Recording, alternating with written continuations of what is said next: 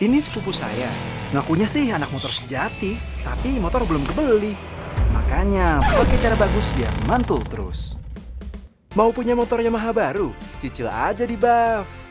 Pilih tipe motornya, pilih tenor, pilih besar angsuran, terus klik. Gampang kan? Buff, proses mudah, angsuran murah. Jadi berangkat ya nih mas? Jadi mas, tapi langsung ke dealer Yamaha aja ya. Wah